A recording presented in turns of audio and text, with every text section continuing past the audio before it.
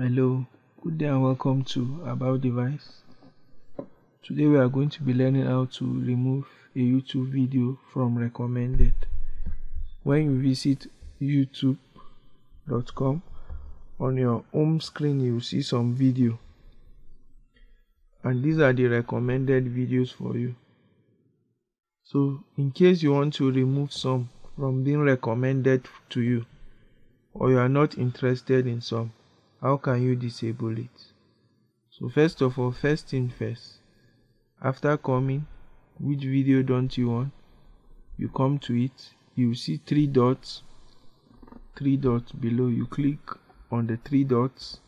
Now if you are not interested in this video you say not interested and then that's all. Or you could say don't if you don't want to recommend the channel completely you don't want to be seeing videos from this channel completely. You can click on not don't recommend channel.